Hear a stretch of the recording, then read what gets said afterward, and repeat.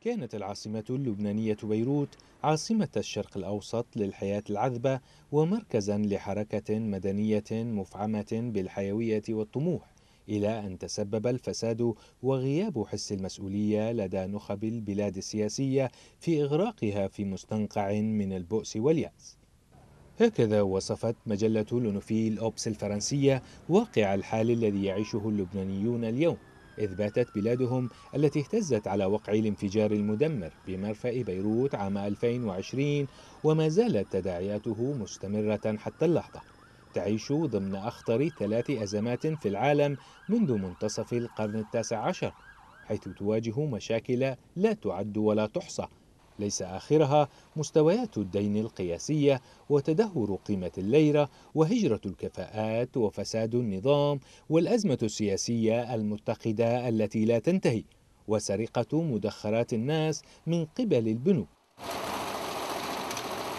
وذهبت مجلة لونوفيل أوبس الفرنسية أبعد في الوصف قائلة إن لبنان داخل فعليا في فوضى اقتصادية وبات كل شيء فيه يقايض ويستبدل ويباع ويشترى بالمال.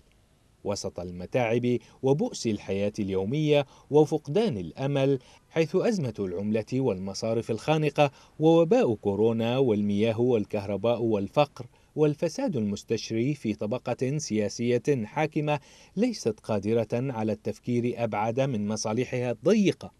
وتختم المجلة بأن لبنان ينحدر نحو الجحيم.